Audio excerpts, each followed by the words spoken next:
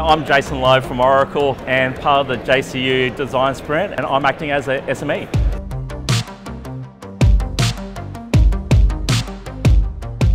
This is my first time that I've been at the JCU Design Sprint and it's been a fantastic experience to see industry partners and students collaborate on actually something that is uh, such a community focused problem. So the design sprint is actually embedded in the Bachelor of IT. Uh, it's a what we call an authentic assessment where the students actually work on real problems um, and find real solutions but they do so in a very condensed, very fast-paced idea creating environment and this is actually indicative of industry and technology.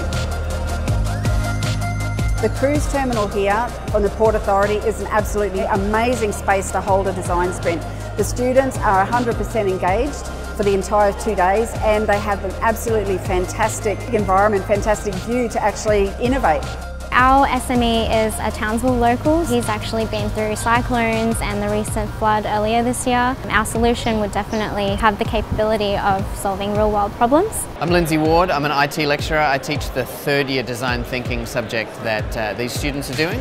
I think it's exceptionally beneficial that students are interacting with real industry people who are coming in, like they're making an effort to be here as well, and the students notice that. Some of them have flown in from you know other parts of the country, and they're spending like two days with our students. They get to know their mentors and their SMEs, and uh, they're also making networking connections as well. So it's, it's excellent experience for them. The JCU Design Sprint is a fantastic opportunity for Technology One to get involved with the students and be inspired by the up and coming talent coming out of the university. It's also a great way for us to connect with the community. The best way to develop work-ready skills for our graduates is to actually have them working with industry as many times as they, as they can throughout their degree. And this is, you know, one a win-win-win for industry who get to come here, they get to spy before they buy. Uh, they also get to interact with the students and you know, be part of their actual education.